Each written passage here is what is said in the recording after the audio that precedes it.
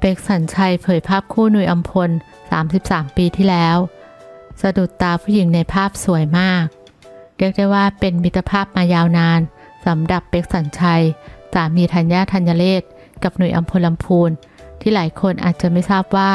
ทั้งคู่นั้นสนิทกันมากๆ และสนิทกันมานานแล้ว ซึ่งก่อนหน้านี้เป็กสัญชัย จัดงานวันเกิดหนุ่ยอัมพล อายุครบ 60 ปี โดยมีเพื่อนๆในวงการบันเทิง มาร่วมงานกันอย่างมากมาย ซึ่งงานนี้ก็ได้มีชาวเน็ตเข้ามาคอมเมนต์ชื่นชมใบหน้าหนุ่ยอัมพลลำพูนในวัย 60 ปี ว่ายังหล่อเหมือนเดิมไม่เปลี่ยน และล่าสุดทางด้านเป็กสัญชัย เผยภาพคู่อัมพลเมื่อ 33 ปีที่แล้วสะดุดตาผู้หญิงในภาพสวยมาก พร้อมระบุแคปชั่นเอาไว้ว่า รูปนี้เป็นรูปเมื่อ 33 ปี เป็นวันแรกที่เราได้นัดกัน นอกเหนือจากหนุ่ยอัมพลก็ยังมีมาชาวัฒนาพาณิชย์ร่วมเฟรมอยู่ด้วย ซึ่งทำเอาหลายคนสะดุดตา เป้าหน้าสวยฟ้าประทาน มาแต่ไหนแต่ไรโดยมาชา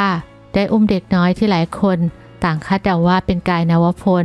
ลูกชายมาชาอัมพล เป็นภาพที่เราไม่ได้เห็นกันบ่อยๆ และอีกสิ่งหนึ่งที่หลายคนโฟกัส เป็นภาพของเด็กหน้าสุด ใส่เสื้อสีขาว ซึ่งก็ไม่ใช่ใครที่ไหน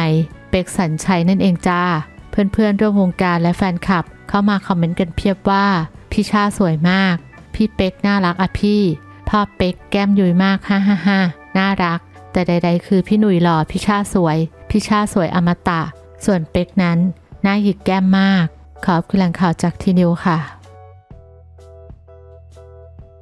และเพื่อไม่ให้พลาดทุกๆข่าวกอสิบดารา อย่าลืมกดติดตามเพื่อรับชมคลิปใหม่ๆทุกวันได้ที่ ช่องดารากอสิบขอบคุณทุกท่านสำหรับการรับชมและติดตามค่ะ